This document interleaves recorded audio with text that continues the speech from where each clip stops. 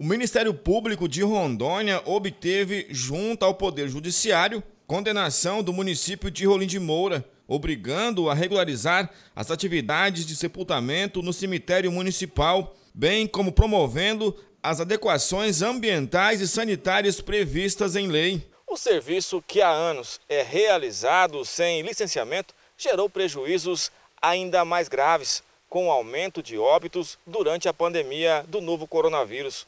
Outra situação preocupante também aqui no cemitério municipal é no tempo das chuvas. Como vocês podem acompanhar, a erosão toma conta aqui do cemitério.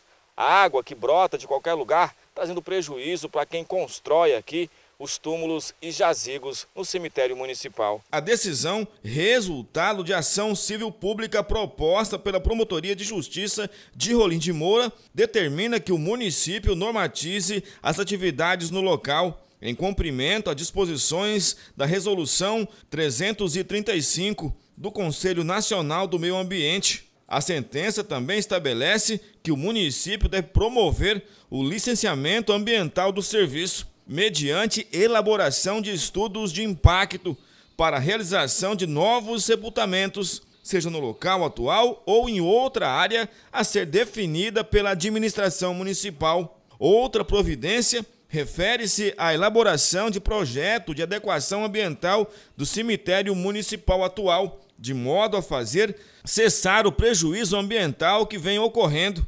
O município deverá ainda implantar o programa de monitoramento de qualidade do solo e das águas subterrâneas na área do empreendimento, bem como, quando necessário, na sua área de influência direta e nas águas superficiais.